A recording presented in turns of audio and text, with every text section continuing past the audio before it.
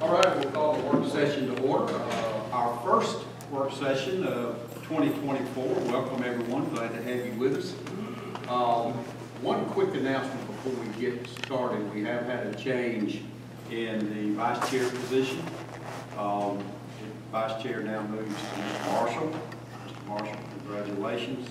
I also want to take the opportunity to thank Mr. Wisenbaker um, for his time as vice chair. He's filled in real good when I was unable to be here, and so, Mark, I really do appreciate that. Jake. You did a great job. Thank I- you. I checked on you. so- And, and thank you.